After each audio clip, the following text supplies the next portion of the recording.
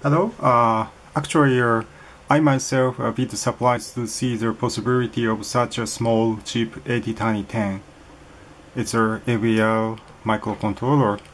This time, I activate the AD converter inside 8010 in addition to the bit banging uh, over I squared C.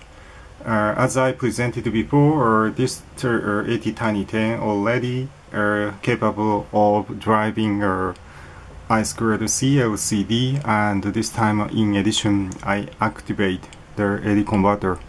Actually the AD converter in ATtiny10 is just an 8-bit AD converter. It's not so high resolution but uh, at least we can see the voltage.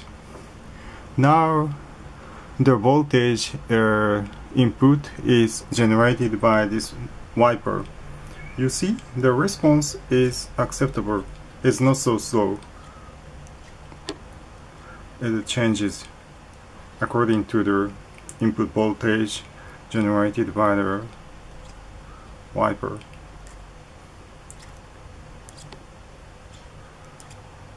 Yeah, it's working. Have fun.